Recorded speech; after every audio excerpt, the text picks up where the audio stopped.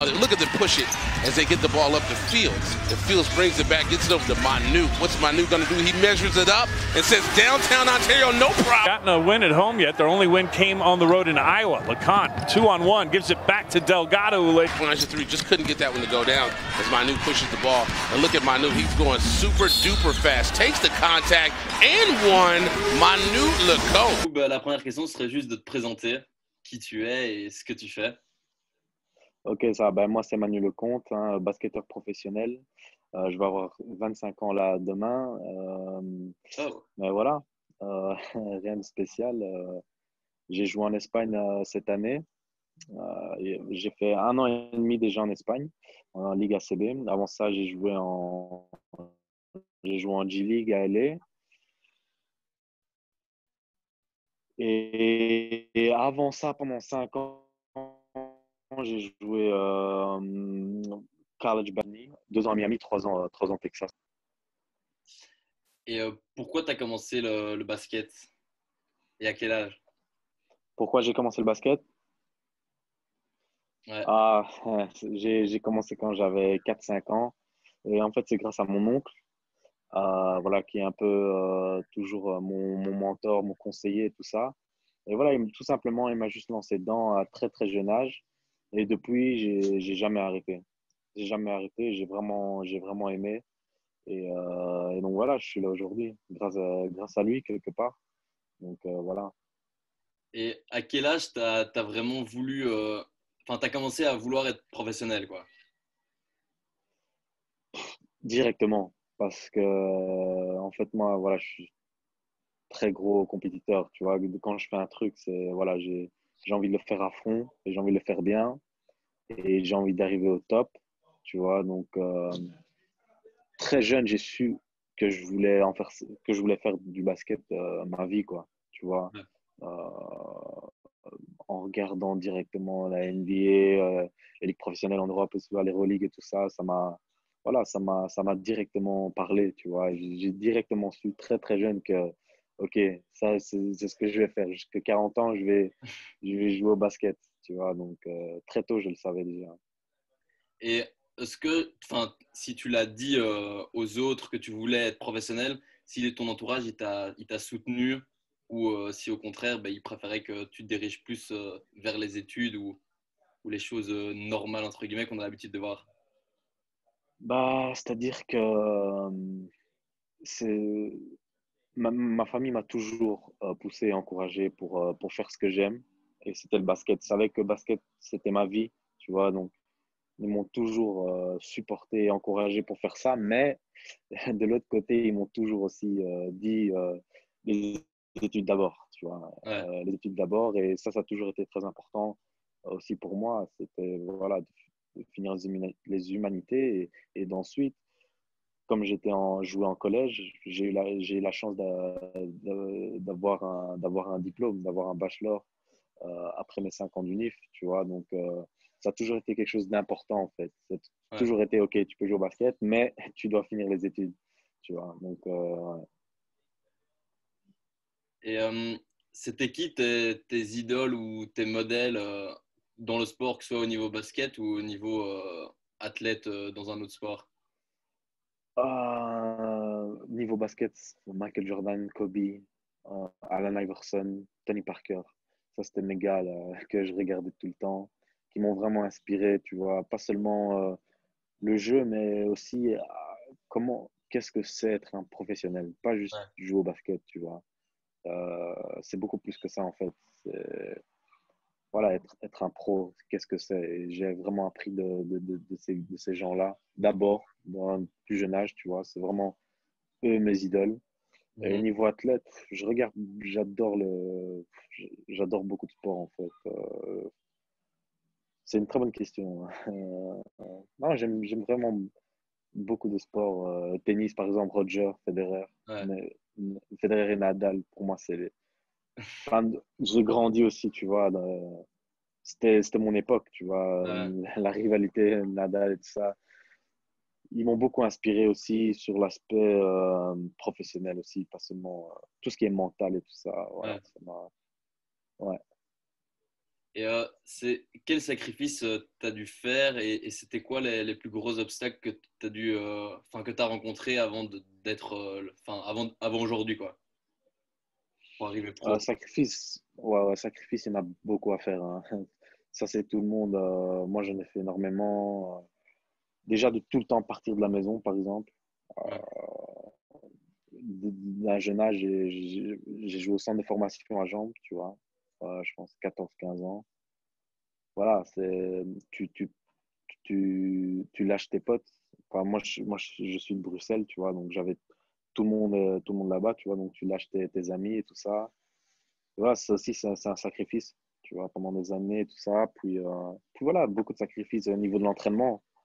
Tu dois t'entraîner tous les jours et tout ça. Euh, tu sacrifies les sorties et tout ça. Donc, euh, ouais, c'est vraiment des, des, sacrifices. Et ça s'arrête jamais. J'en continue à en faire aujourd'hui. Et voilà. Tu es parti à quel âge aux États-Unis? 18 ans. Et là, c'était vraiment le seul, la seule raison pour laquelle tu partais, c'était pour euh, percer au, au, niveau basket, quoi. Ouais, c'était un tout aussi. Parce que comme je t'ai dit, voilà, il y avait les études et tout ça. Mais c'est vrai que ma, ma, Allez, ma, ma première option, évidemment, c'était le basket et je partais vraiment pour cet objectif-là, tu vois. Donc, euh, ouais. Et est-ce que jusqu'à aujourd'hui, il y a des moments où tu as déjà eu euh, envie d'arrêter ou quoi, euh, un trop plein ou trop d'entraînement, où tu en as un peu marre ou pas, ou c'est jamais arrivé? Je pense que j'ai jamais, j'ai jamais eu envie d'arrêter le basket, jamais la compétition, quoi, quoi que ce soit. Jamais parce que voilà, j'aime trop le basket, tu vois, c'est ma vie. Moi, j'aime jouer, tu vois. Moi, pour moi, le basket, je vois pas ça comme un travail, tu vois. Je le vois pas.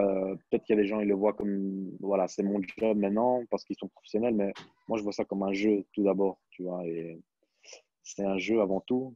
Et voilà, je m'en lasserai jamais. Mais après, voilà, on a tous des périodes, je pense, euh, des, des périodes down, tu vois. Tu passes dans des moments difficiles et compliqués. Et c'est justement dans ces moments-là où parfois tu as envie d'arrêter, tu n'as pas envie de t'entraîner, tu n'as pas envie de te lever, tout ça. C'est justement dans ces moments-là qu'il faut pousser encore plus, tu vois. Et c'est bien que ces moments-là arrivent parce que c'est là que tu vois si tu vas y arriver ou pas mentalement. C'est là que tu vas voir quand tu vas te réveiller à 6 heures du matin si tu vas le faire ou pas, tu vois. Et c'est là que tu, là, tu vas savoir. Et pour moi, c'est des très bons tests, tu vois. C'est des tests. C'est des tests. Et je suis toujours là. Et j'ai eu des moments difficiles, mais voilà, c'est comme ça. Et en termes d'une journée euh, type pour toi, genre en, saison, en pleine saison, ça ressemble à quoi en termes d'entraînement, euh, du nombre d'heures et tout ça? Ça dépend parce que déjà voilà, déjà en G-League, au collège par exemple, on avait 3 4 2 2 on va dire 2 3 matchs par semaine, G-League j'en avais 3 4. En Europe, quand je suis venu, j'en avais qu'un par semaine. Donc les entraînements, ça dépend. Par exemple en Espagne, bah, une journée type, on s'entraîne tous les jours. On s'entraîne tous les jours, euh, très souvent deux fois par jour. Les entraînements sont, sont, ouais, sont, voilà, sont intensifs. Et puis un match le week-end, tu vois. Euh. Mais en général, c'est deux entraînements par jour, euh, ou sinon un seul. Quoi. Et pour en revenir aux États-Unis, tu dirais que c'est quoi la différence entre le niveau là-bas et en Belgique? Enfin, Qu'est-ce qui diffère? Je dirais euh, tout ce qui est niveau athlétique, quoi, tu vois, tout ce qui est euh, niveau physique. Ouais. Ça, pour moi, c'est la plus grosse différence. Euh, parce qu'aux États-Unis, on travaille beaucoup plus, surtout sur le physique et tout ça. voilà. Mais voilà, sinon, en, en, Europe, on, est très bien sur tout ce qui est voilà tout ce qui est apprendre le basket, la formation, elle est pas mal. Elle est, elle est, vraiment bien en Europe. Il y a de très bons joueurs. En Belgique, ça manque un peu. Ça manque un peu. Je pense mhm. qu'on doit, on doit s'améliorer par là, tout ça. Euh, mais voilà, la, plus grosse différence, je dirais, les niveaux physiques. Les infrastructures, je suppose que c'est pas totalement la même chose qu'ici. Ouais, ouais, non, ça c'est ouais, très très différent. C'était d'ailleurs ça la plus grosse différence quand je suis arrivé à Miami, c'était les infrastructures, tu vois. C'est NBA en fait, tu vois. Ouais ils mettent beaucoup plus d'argent là-dedans aussi. Ils investissent beaucoup plus. Et donc voilà, le résultat, il est là. quoi. Est-ce que tu sens que, par exemple, ici, le sport, est, enfin, l'importance du sport est pas tellement grande, je trouve? Et là-bas, est-ce que tu sens vraiment que le sport a une importance énorme? Elle est énorme ici, mais dans le foot, pas dans le basket. Ouais, ouais, ça.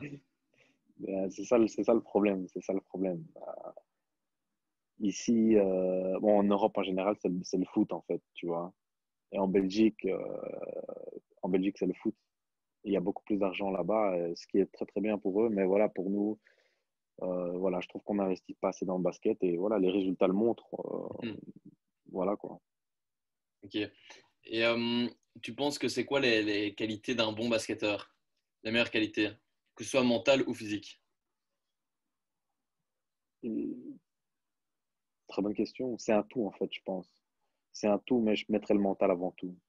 Je mettrais le mental avant tout. J'ai joué, j'ai joué contre, j'ai joué avec des joueurs très talentueux, même parfois plus talentueux que moi.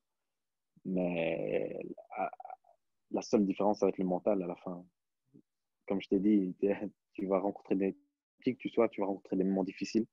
Et c'est mhm. là que tu vois ceux qui, qui, continuent ou ceux qui craquent. Tu vois. Donc, je mettrais le mental en premier. Et euh, est-ce que pour toi, la, la taille, c'est un, un, facteur euh, hyper important ou pas dans le basket? Est-ce que ça peut vraiment te limiter? Non, regarde-moi. ça dépend. Tu, tu, peux y arriver. C'est Comme je t'ai dit, c'est une question de mental. C'est beaucoup moins une question de voilà, de tout ce qui est taille, même, même talent et tout ça. C'est un plus, évidemment, évidemment, c'est un plus, évidemment, surtout au basket. Mais euh, voilà. Euh, ouais, c'est certainement un plus, certainement un plus. C'est quoi ton plus beau souvenir euh, depuis que tu joues, si tu en as un seul à, à dire? Un seul à dire c'est. Ah, je dirais, je dirais les, les, les, coupes de, les, coupes, les coupes du Brabant et les coupes de la WBB qu'on gagnait quand, quand j'étais jeune. Ça, c'était les meilleurs souvenirs. Parce que tu jouais avec les potes et tu te souciais de rien d'autre. Tu jouais juste, on s'amusait, on jouait avec les amis. Et franchement, ça, c'est, c'est le meilleur souvenir. C'est le meilleur souvenir. Hum, une question où tu as vite fait répondu aussi, mais la chose la plus dure euh, ou les choses les plus dures en tant qu'athlète professionnel, tu dirais que c'est quoi ah, Les choses les plus difficiles en tant qu'athlète professionnel. Ah, bonne question. Beaucoup, de choses qui sont dures. Mais euh, c'est perdre. Perdre. perdre, euh, surtout quand tu perds des matchs, quelques matchs d'affilée là et essayer de sortir de cette. Euh, parce que voilà, ça arrive, tu vois, ça arrive. Surtout quand tu joues au niveau, tu joues contre des très bonnes équipes.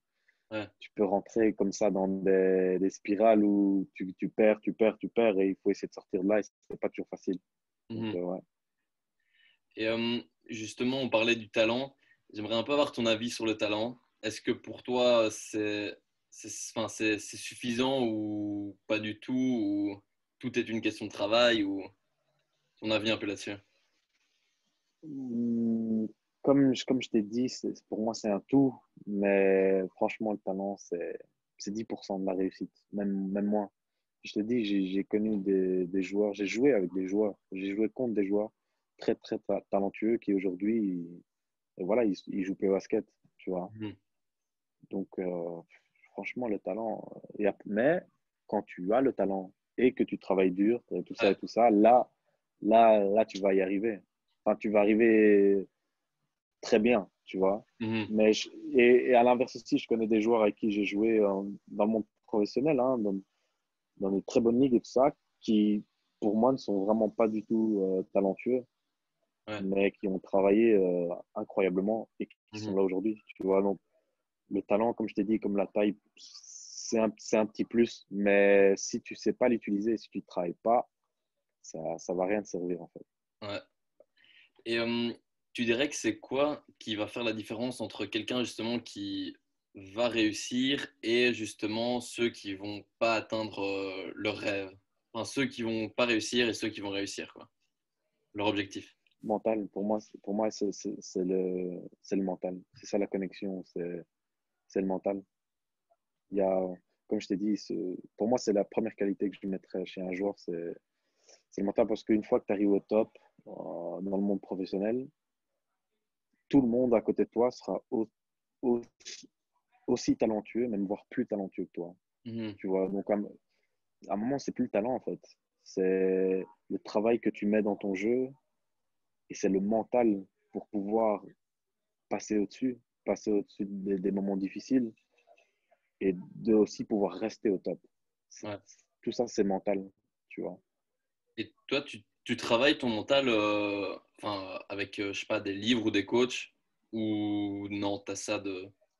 Ouais, ouais, j'aime bien lire, euh, surtout des, des, livres de sport, des livres de d'athlètes. il n'y a pas longtemps, je lisais le livre de, de Kobe, par exemple. ça m'aide beaucoup. Ça m'aide beaucoup. ça m'aide beaucoup. et je pense que ouais, c'est comme ça que je travaille mon mental en lisant et en prenant l'expérience de, gens comme, comme lui, des grands athlètes. Et ça, ça confirme l'idée que 90% c'est mental, tu vois. Mhm. Donc, euh, donc, voilà. Et euh, qu'est-ce que tu dirais aux gens qui, justement, osent pas réaliser leurs rêves parce qu'ils ont, ils ont un peu peur d'échouer? Donc, euh, ils préfèrent pas tenter et jouer la sécurité plutôt que de se lancer euh, au risque de rater. Quoi. Ouais, non, je vois ce que tu veux dire. Ça, c'est, la, la, la, grande, la grande question. Hein. C'est, euh, euh, c'est ça, en fait, pas seulement tout, en fait. Et une fois que tu n'as plus cette peur d'échouer, tout d'un coup, bah, c'est là que vraiment tu vas, tu vas exploser et tu vas pouvoir t'exprimer, en fait. Et je pense qu'on passe tous par des moments comme ça, surtout dans les moments difficiles où ça devient de plus en plus compliqué et, là, il y a de plus en plus de peur de, l'échec, tu vois. C'est ça la clé, c'est qu'il faut, il faut enlever tout ça en fait. Et il faut se dire que voilà, on est capable. Et, je pense qu'elle s'élimine avec le travail aussi. Au plus tu travailles, au plus tu es préparé, au plus cette peur va, va diminuer. Mmh. Et ça va devenir plus qu'un jeu en fait. Ce que ça devrait être, tu vois. Ouais. Donc, du coup, toi, tu es persuadé que si tu crois en, tes objectifs et que tu taffes, ben, ça marchera d'office. Bien sûr, et même si ça marche pas, avec quoi, tu vois ouais. Je pense que même si ça marche pas, euh, enfin, je veux dire, comme, comme je t'ai dit, j'aime moi, un de mes joueurs préférés, c'est Kobe. Les, les, Kobe, il a, il a raté beaucoup. Il a raté beaucoup dans sa carrière, tu vois les gens, voilà, ils préfèrent se rappeler des grandes choses qu'il a faites, mais il a aussi eu beaucoup d'échecs, beaucoup d'échecs. Tu vois, je pense que c'est le joueur de l'histoire qui a arrêté plus de shots dans, dans l'histoire, tu vois. Mais c'est Kobe, tu vois. Donc, il faut se dire que l'échec, ça fait. Une fois que tu vois que l'échec, ça fait partie de, de, ton progrès, tu vas voir les choses différemment. Tu vois, les gens, ils ont. Et même moi aussi, parfois, j'ai pas envie de rater, j'ai pas envie d'échouer, tu vois. Mais quand tu le vois cet échec-là comme part de ton progrès, mhm. tout va changer, tu vois. Et j'aimerais un peu savoir, toi qui as vécu quand même euh, quelques années aux États-Unis, est-ce que, enfin, on dit souvent qu'ils euh, perçoivent l'échec différemment qu'ici euh, en Belgique. Et j'aimerais savoir si c'est vrai et qu'est-ce qu'ils en pensent. Ouais, bien sûr. c'est une autre mentalité complètement. Moi, c'est ce que, voilà, ce que j'ai, j'ai vite compris là-bas. Et c'est pour ça aussi que je voulais aller là-bas. C'est, c'est, vraiment une autre mentalité. Euh, même, comme tu as dit, par rapport à l'échec et tout ça, c'est, ça fait partie de ton chemin, tu vois. Mhm. Et, et, maintenant, comme je t'ai dit, si tu, si tu, tu regardes un peu l'histoire des grands athlètes, c'est jamais des gens qui ont tout réussi dans leur vie, tu vois. Ça n'existe pas tu vas échouer. Tu vois, et c'est justement ceux qui continuent qui réussissent. Mais ça, il faut être fort mentalement. Tu vois. C'est pour revenir à ça, en fait, c'est tout simple. Il faut, faut, continuer.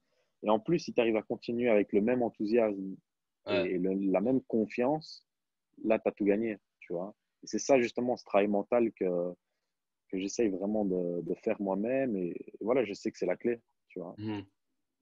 Et euh, avec tout ce que tu as vécu, euh, que ce soit de quand tu étais plus petit jusqu'à maintenant, qu'est-ce que tu as appris et que tu as envie de transmettre euh, aux gens?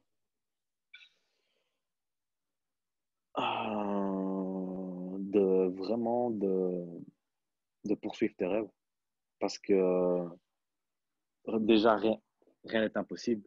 Et si je le dis franchement, rien n'est impossible. Vraiment de, poursuivre tes rêves et justement de ce qu'on parlait là, qu'il faut, qu'il faut voir l'échec comme, comme une, une, part de, progression dans ton chemin. Et il faut pas avoir. La clé, c'est pas avoir peur d'échouer, en fait. Tout mmh. simplement. Euh, faut pas avoir peur, faut te lancer. Et si, si même si tu arrives pas, tu n'y arrives pas, tu vois. Mais au moins, je pense que c'est mieux de, plus tard de te dire oh, j'ai essayé, j'ai raté, que de dire oh, j'ai pas, j'ai pas osé, tu vois. Mmh. Je pense que c'est quand même mieux d'essayer d'échouer que euh, de vivre avec des regrets, tu vois. Et ça, c'est très important pour moi et c'est pour ça que euh, j'arrêterai jamais d'essayer d'aller euh, là où je veux, là où je veux aller, tu vois. Je préfère euh, échouer que de me dire ah, j'ai pas eu, tu vois, j'ai pas, j'ai pas, j'ai pas osé quoi, tu vois. Et dernière question, tes objectifs futurs? Ou actuels ah. Ah, l'objectif futur pour moi, c'est toujours aussi euh, d'aller en NBA un jour. Euh, je sais que ça prendra un peu de temps. Euh, mais voilà, c'est d'essayer déjà de, jouer dans le top en, Europe, en Euroleague et tout ça. Mmh. vraiment step by step, objectif par objectif. Je, je, sais que je peux y arriver un jour. Ce serait, serait bien de voir un, un en NBA là, parce que ça fait quand même longtemps qu'on ne l'a plus vu. Ouais, ouais, non, c'est vrai. Très longtemps. Ouais. Ouais, ouais c'est toujours cool d'avoir quelqu'un euh, quelqu'un au plus haut niveau parce que en plus ça, ça, ça ouvre des portes pour la, la, la génération future. Donc euh, c'est toujours bien d'avoir quelqu'un euh, au plus haut niveau.